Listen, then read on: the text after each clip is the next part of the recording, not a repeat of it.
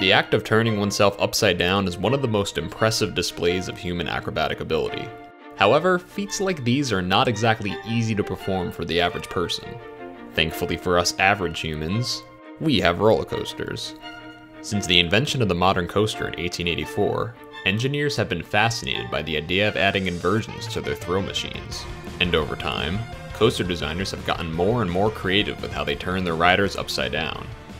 This video aims to explore how the inversion has evolved, chronologically looking at every single inversion ever conceived, from the absurdly sketchy centrifugal railways of the 19th century to the creatively twisty steel behemoths of today.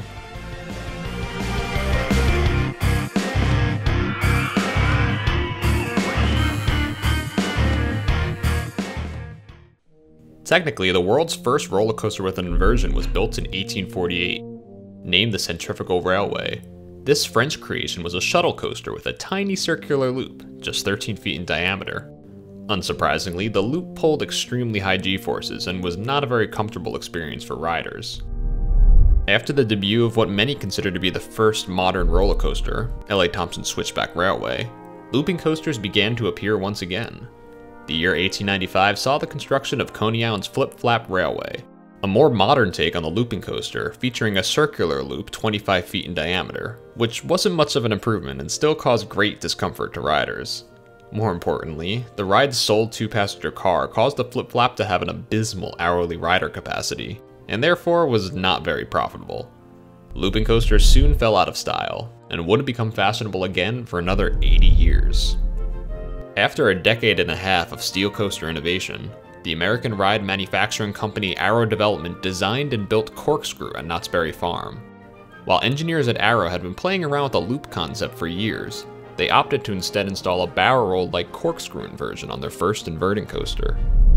The loop wouldn't be avoided for long though. Just one year later, Magic Mountain's Revolution became the first coaster of the modern era to contain a vertical loop. Made by the German manufacturer Anton Schwarzkopf, the ride opened just one week before Arrow's first looping coaster, Corkscrew at Cedar Point. Two years after Cedar Point's Corkscrew, Arrow took the loop to the next level, creating one of the most famous inversions ever, the interlocking loops on the Loch Ness Monster at Busch Gardens Williamsburg. Nessie is the only ride operating today to feature this picturesque element.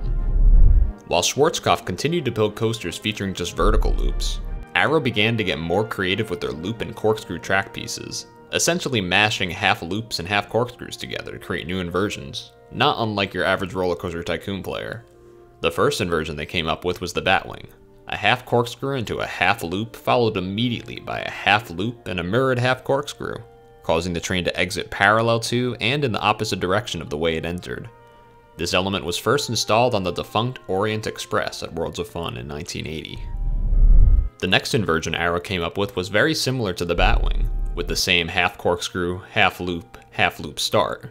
But the second half corkscrew exits so that the train continues to travel in the same direction that it entered the element. This inversion is called the bow tie, and only appears on one coaster, the legendary Dragon Mountain at Ontario's Marineland theme park. Meanwhile, on a certain island country in the Northwest Pacific Ocean, amusement manufacturers were beginning to build their own looping coasters. There were two major players in the Japanese steel coaster market, Togo, which we'll get to very shortly, and Meisho Amusement Machines, who after building a few coasters featuring vertical loops, shocked the world with Fuji Q Highland's infamous Moonsault Scramble. Opening the same year as Arrow's Dragon Mountain, this shuttle coaster is most famous for its insane max g-force of 6.5 Gs, which it attained during its double inverting element, the world's first pretzel knot.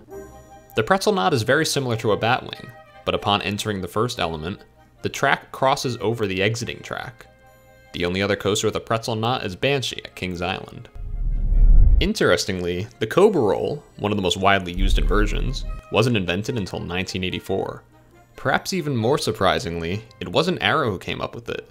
That honor goes to Vekoma, a Dutch ride manufacturing company who broke onto the scene with their Boomerang shuttle coaster model, four of which opened around the world in 1984. In a Cobra Roll, riders travel up a half loop, down through a half corkscrew, before inverting again via another half corkscrew and exiting via another half loop in the opposite direction of how they entered. But what if you chopped a Cobra roll in half, leaving only a half loop and a half corkscrew? Then you'd have what's called the Sidewinder, which was first featured on Arrow's 1984 creation Dragon, a ride that operated at Hong Kong's gorgeous Ocean Park until 2021. While all the inversions mentioned thus far have been a variation on the loop and corkscrew combination, 1985 would see the creation of a brand new inverting element, the Heartline roll. The second inversion thus far to originate in Japan. It was first installed on the Togo Creation Ultra Twister at Tokyo Dome City, a pipeline roller coaster where the car is situated between the rails.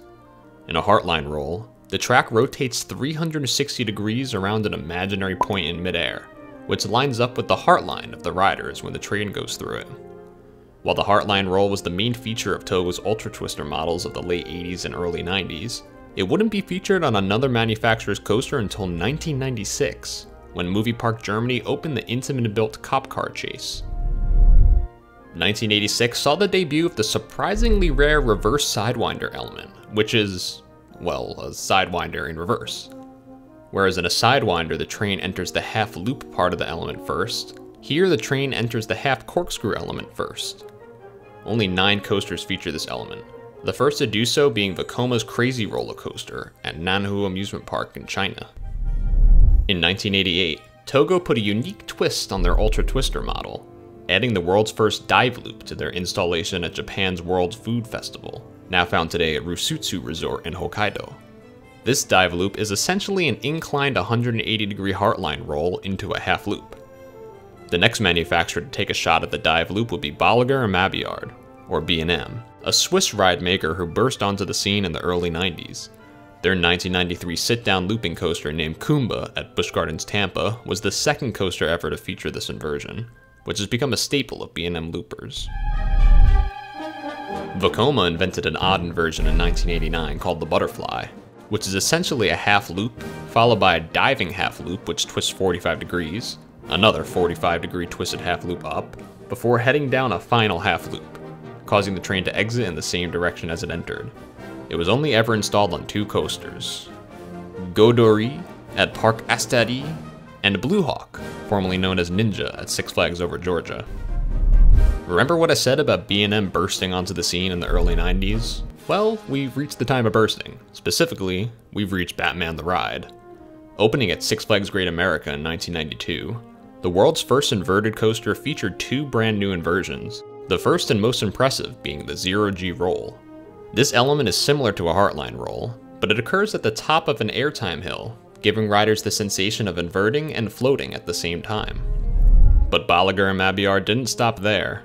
They also invented the Wingover, an inversion found exclusively on their Batman the Ride clones. The Wingover is pretty much just a corkscrew, but I guess it's a little bit tighter? Almost like a zero-G roll and a corkscrew were fused together. B&M's Batman was a runaway success, and other manufacturers quickly realized that they had to step their game up to compete with the new kid on the block. Arrow's answer to B&M was the infamous Drachen Fire, opening in 1992 at Busch Gardens Williamsburg. The ride featured two new inversions. The first, called a wraparound corkscrew, acted as the ride's first drop, and was essentially a half corkscrew into a twisting, diving half loop that went all the way to the ground. Drachen Fire also featured the world's first cutback inversion, an inversion similar to a corkscrew, but the second half is mirrored such that the riders head back in the opposite direction they came. While Arrow's Drachen Fire tortured riders up in Virginia, 1993 saw the opening of B&M's most impressive looping machine yet, Kumba, located at the other Busch Gardens Park in Tampa. Featuring a massive loop encircling the lift hill, North America's first dive loop, and a giant cobra roll, the steel behemoth was already impressive enough, but B&M also included a brand new inversion, or at least a brand new variation on an already existing inversion. I'm talking about interlocking corkscrews, two corkscrews separated by a banked curve that flip over each other, something that B&M installed on many of their looping coasters in the 90s and 2000s. Arrow also came up with an interesting variation on the corkscrew in 1993, the triple corkscrew, which is exactly what you think it is. Three corkscrews placed back to back to back. This was first installed on the South Korean coaster Fantasia Special, located at Tongdo Fantasia. 1994 sees the return of Vekoma to the timeline, and the debut of everyone's favorite head-smashing, brain-rattling, shamelessly cloned coaster model. Yes, it's time to talk about Vekoma's Suspended Looping Coaster, or SLC, since it actually featured two world's first inversions. The first is the rollover, a double inverting element that begins with an ascending half loop into a half twist, into another half twist and a descending half loop, causing riders to exit in the same direction they entered.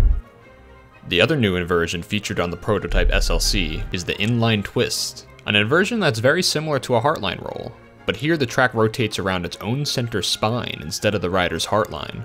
Oh, and you may have heard the term barrel roll used to describe these twisty inversions, especially if you've ever played Roller Coaster Tycoon. From what I understand, the term barrel roll is a broad term that could be used to describe either an inline twist or a heartline roll, although it's more commonly used as a substitute for a heartline roll. Kind of like how a square is a rectangle but not vice versa, with the square being a specific type of rectangle and a heartline roll being a specific type of barrel roll and all that. Oh, and a JoJo roll is a heartline roll that occurs immediately after dispatching from the station. Does that make any sense? I'm sorry for using a math metaphor. One of the more controversial inversions on the timeline can be found on Disneyland Paris' Space Mountain, as there is a debate as to whether it counts as an inversion at all. The element in question is the tongue, which is a variation on the cutback seen earlier on Dragonfire with the track here exiting at a 150 degree angle from its entrance, as opposed to the full 180 on the cutback. There aren't many photos of this Vekoma design coaster with the lights on, so I'll let you be the judge as to whether it counts or not. Either way, Francis Space Mountain is the only coaster to ever feature a tongue, which is a ridiculous sentence to read out loud. Here it is, quite possibly B&M's most famous inversion, the Immelmann named after an aircraft maneuver, which itself was named after the German pilot Lieutenant Max Immelmann. The Immelmann is an ascending half loop followed by a descending half roll, making it the opposite of a dive loop. It was first installed in 1996 on Busch Garden Tampa's inverted coaster Montu. The other new inversion invented by B&M in 1996 was the inclined loop. This self-explanatory inversion is simply, well, a tilted vertical loop and it was a popular inclusion on B&M stand-up coasters, being first installed on Mantis at Cedar Point. Okay, so this next inversion is so obscure that I almost left it off of the timeline. Called the diving turn, this inversion is a half heartline roll, followed by a downwards half corkscrew. While odds are you've built many diving turns in Roller Coaster Tycoon, you probably haven't ridden a coaster with one, as it was only ever found on the sparingly operated and currently defunct Intamin creation Sky Plaza Comet, their one and only spiral coaster model. Speaking of Intamin, 1998 saw them blast onto the North American inversion scene quite literally with Volcano the Blast coaster at King's Dominion. The world's first launched inverted coaster also featured a world's first inversion, the Rollout. Similar to a Sidewinder, a rollout consists of an ascending vertical section of track, followed by a quarter loop into a half corkscrew. Volcano, may it rest in peace, was the only coaster to have ever featured this inversion. Another manufacturer enters the fray, this time being the American ride maker Premier Rides. Their 1999 Mr. Freeze twin launched coasters begin with an inside top hat. This element begins with a vertical section of track that twists 90 degrees before flipping riders upside down and heading back to Earth. Although B&M is famous for their Sea Serpent inversion on Six Flags Discovery Kingdom's Medusa, the first Sea Serpent was actually installed one year prior in 1999 by none other than Vekoma, and none other than a Disney park. That's right, we're talking about the Rock and Roller Coaster at Disney's Hollywood MGM Studios park. The Sea Serpent is very similar to the rollover found on Vekoma SLCs, but after the ascending half loop, the train executes two half corkscrews instead of two half twists, before heading down a half loop to continue in the same direction. It's also kind of like a Cobra roll, except the second half corkscrew is oriented such that riders continue to travel in the same direction. While this isn't a new inversion by any means, it's worth noting that the year 2000 saw the opening of Kings Island Son of Beast, the first modern wooden roller coaster to feature an inversion, a 118 foot tall vertical loop. The ride was a complete disaster, yes, but notable nonetheless. One of the most bizarre coasters on this list with a suitably bizarre inversion is Vertical Velocity, known today as Flash Vertical Velocity. Opened in 2001 at Six Flags Discovery Kingdom, this Intamin Impulse coaster originally had two vertical spikes, just like all the other Intamin Impulse coasters, and therefore no inversions. But after one season of operation, Six Flags and Intamin modified the ride to satisfy a height limit in the area, shortening the rear spike and altering the front spike such that it sat at a 45 degree angle, thus creating the twisted incline rollback inversion. Incredibly, another coaster opened with this exact same inversion in 2019, the just as insane Gerstlauer Infinity shuttle coaster Mystic at Walibi Rhone Alps. In 2002, B&M came up with an inversion that could only be executed on their brand new flying coaster model. That's right, I'm talking about the pretzel loop, first seen on Superman Ultimate Flight at Six Flags Over Georgia. A pretzel loop is essentially a loop that begins at the apex, with riders descending down on their backs before rising back up to the flying position. We stay in the year 2002 for, well, not exactly a new inversion per se, but another variation on an existing inversion, and an excuse to talk about the world's first coaster to break the 10 inversion barrier. The ride is the Intamin built Colossus at Thorpe Park, and the inversion is the quad heartline roll, or four heartline rolls placed back to back to back to back. Not the most creative way to break the inversion record, but you can't deny Intamin's inverting efficiency. On the timeline thus far, the inversions have been pretty standard. A half loop here, a corkscrew there, a twist or two perhaps, nothing you couldn't reasonably replicate in RCT2. But from 2004 on out, things are going to get weird. I'm talking a six year old playing Planet Coaster for the first time weird.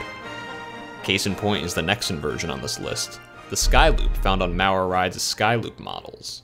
This double inverting element actually begins on the ride's lift hill, where the train is pulled from vertical to upside down, before executing what is essentially an upside down heartline roll before heading down a half loop into the station. It was first installed on the very first Skyloop model named Skywheel at Skyline Park in Germany. But the real inverting star of 2004 was the Intamin made Stormrunner at Hershey Park, which featured not one, but two brand new inversions. The first is an element called the Cobra Loop, not to be confused with the Cobra Roll, and is basically just a really funky vertical loop. The first half of the loop is like any other loop, but the second half exits diagonally, causing the element to resemble something between well, a loop and a cobra roll, hence the name. This element is incredibly similar to the Immelmann, and is often mistaken as one. The second world's first inversion on Stormrunner is the Flying Snake Dive, a half heartline roll into what can only be described as a twisting and diving drop to ground level. Both of these wacky inversions are exclusive to Hershey Stormrunner. Maurer rides weren't done with their weird lift hill inversions though. Just one year later in 2005, they opened their first X-Car coaster, G-Force at Drayton Manor in the UK, which features what is essentially a vertical loop for a lift hill. But G-Force also featured a brand new double inversion called the Bent Cuban 8.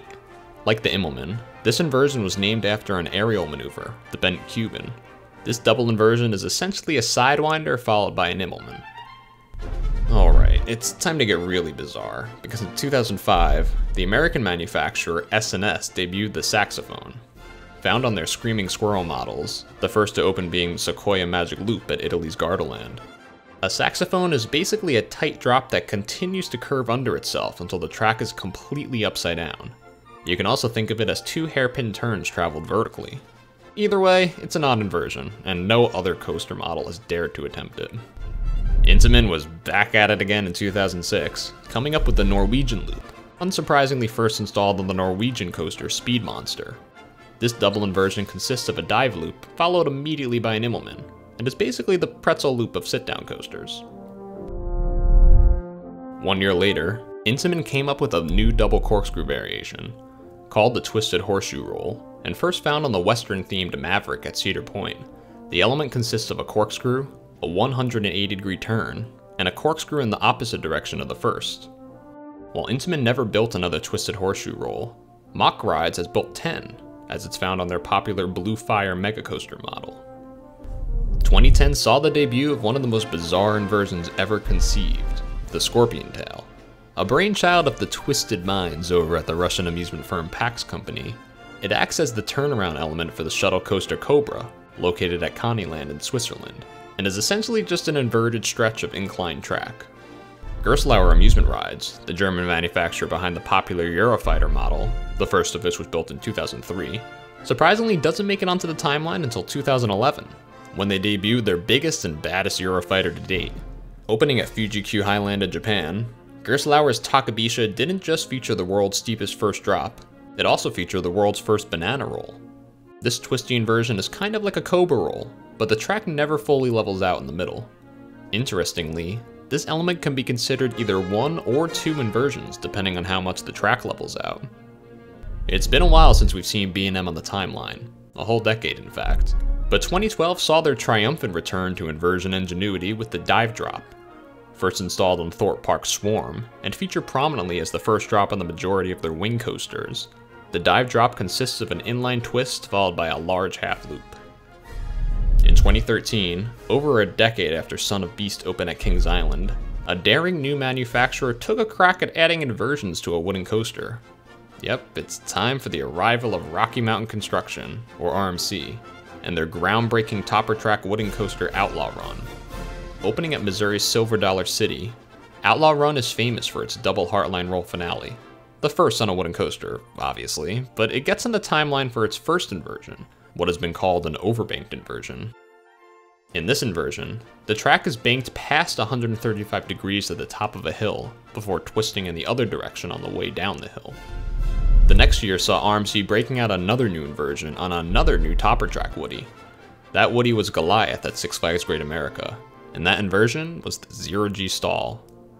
The inversion that has become synonymous with RMCs. The Zero G stall begins like a Zero G roll, with the track twisting 180 degrees as the train rises up into a hill, but at the apex of the hill, the track levels out, stalling riders in this inverted position, before twisting back to level on the way down. But that wasn't the only inversion RMC cooked up in 2014, which saw the opening of Medusa Steel Coaster at Six Flags Mexico, a ride that featured the world's first barrel roll down drop. This inversion consists of a banked curve leading directly into a descending barrel roll, which also acts as Medusa Steel Coaster's first drop. We interrupt the RMC party with some more B&M Wing Coaster action, as the opening of Heide Park's Flug der Dämonen in 2014 brought about a brand new inversion. This odd double inverting element called the Demonic Knot is a 0G roll, followed by a 270 degree turn into another 0G roll that passes over the entrance to the first roll, forming a mess of track that resembles a rather sinister knot. So sinister, in fact, that no other coaster features this element. Finland joined the small list of European countries with an inversion named after them in 2016, when the Finnish loop appeared on the Gerstlauer Infinity Coaster Junker. Despite containing two distinct elements, a twisting dive drop into an elongated vertical loop, the dive drop doesn't count as an inversion, so the Finnish loop is actually just a single inversion, unlike its Norwegian cousin. Junker wasn't the only coaster debuting a world's first inversion in 2015. Over in the States, the Maniacal Minds at Lagoon unveiled Cannibal, a monstrous looping coaster built in-house. And if you're gonna come up with a brand new inversion in-house, you might as well name it after your park, right? Hence the Lagoon Roll, which is basically a double inline twist, but with the second twist rotating in the opposite direction of the first. Yet another 2015 inversion comes courtesy of RMC, who opened their dueling creation Twisted Colossus at Six Flags Magic Mountain, replacing the iconic Colossus wooden coaster. The unique inversion they came up with was the Top Gun stall, a zero-G stall placed directly over an airtime hill, causing the two trains to mimic this famous maneuver from the movie Top Gun. This makes the Top Gun stall the only inversion on this list dependent on the proximity of two trains and two sections of track. RMC didn't slow down for the next operating season, coming up with two brand new inversions. The first is the Step Up Underflip, originally found on Joker at Six Flags Discovery Kingdom, which is basically a zero G roll that doesn't fully complete its roll. We'll call it a 270 degree roll that transitions directly into a banked, curving drop. RMC came up with so many inversions in such a short amount of time that this next inversion doesn't actually have an official name yet. First seen on Storm Chaser at Kentucky Kingdom, this inversion, affectionately known as a zero G roll variant, is very similar to the Step Up Underflip, being a 270 degree zero G roll that transitions into a banked curve. But it's much lower to the ground, so it doesn't have the twisting drop seen in the step up underflip. 2018 sees Gerstlauer's return to the timeline with the negative G stall loop, and man, these inversions are really getting harder and harder to describe. Found on Knott's Berry Farm's Hang Time, this inversion is similar to a Finnish loop, but instead of a twisting drop into a vertical loop, it's a twisting drop into an extended sidewinder, causing the train to exit in the opposite direction that it entered. After last appearing on the timeline in 2005 with everyone's favorite inversion, the saxophone, S&S blasts back onto the scene in 2019, unveiling two new inversions on their compressed air launch coaster Maxx Force at Six Flags Great America. The first new inversion is a double inversion called the Dog Tongue, and it's really weird. It's essentially a large half loop that rolls over into a 90 degree bank turn, before rolling back over and dropping down another oddly angled half loop. The second new inversion is the Max Dive Loop, and it's not any less bizarre than the Dog Tongue. It's basically what happens when you mash together a zero G roll and a dive loop, with a wacky bank section of track between the two. S&S really outdid themselves in 2019. Along with Maxx Force, they built Steel Current at Kennywood, a ride that broke the North American record for the most inversions on a coaster with 9. They went all out with the uncommon inversions too, throwing riders through a sea serpent, a zero G stall, a banana roll, a cutback, and a world's first inversion named the Drachen Fire Dive Drop. Obviously inspired by the wraparound corkscrew found on the defunct Drachen Fire. It's sort of a combination of that and the dive drop seen earlier on B&M's wing coasters, being not quite a corkscrew yet not quite a heartline roll into a diving plunge. B&M's final appearance in the timeline comes in 2019 with their record-breaking dive machine Yukon Striker at Canada's Wonderland. Yukon Striker featured the world's first zero-G winder, a combination of a zero-G roll and a sidewinder, and looks a bit like a half loop into a half twist. RMC's final entry, for now, is courtesy of the 2019 coaster Untamed at Walibi Holland. Possibly their most diabolical invention yet, the inversion is named the Double Inverting Stall, and is essentially a 270 degree zero G roll, a small section of track banked at 90 degrees, then another 270 degree zero G roll in the opposite direction. Over 20 years since their last appearance on the timeline, it's time to end the list with the return of the king himself, an early inversion pioneer who fell on hard times but has been making a massive comeback as of late. Yep, it's time to welcome back Vekoma, and introduced their brand new Top Gun launch coaster model, the first of which opened in 2021 at a park in China. This model features a crazy looking new inversion called the Rollover Camelback. It begins much like an inside top hat, but negotiates an inline twist at the apex before diving back down to Earth. 175 years and 58 different inversions later, we've made it to the present day. In the end, B&M is the inversion king, having opened 9 coasters with the world's first inversion. While Arrow is out of the inversion race, close trailing Vekoma may just take the inversion crown one day, with Intamin and RMC also in close striking distance. Unfortunately for me, that also means that this video will probably become rapidly outdated. S&S's rumored soon-to-be-built Axis coaster alone will likely introduce a bunch of never-before-seen inversions, and I doubt that RMC or Gerstlauer will slow down their inversion creating anytime soon. Also, while I tried my best to include every single notable inversion, there's a chance I missed one or two, so let me know in the comments below if you've noticed any I've left off. I purposefully left out a few half inversions, like the Fly-to-Lie on Vekoma's Flying Dutchman model, as well as some inversions I considered redundant, such as the double heartline roll. In all honesty, I'm not sure how many more inversions I could include if I tried. Putting together this video nearly broke me and my PC. I want to give a big thanks to Mick and Man's RCT station for suggesting this video. If you have a video you want to see, let me know in the comments below. And hey, if you made it this far, why not leave a like? And consider subscribing and joining the JNatty community. As always, thanks so much for watching.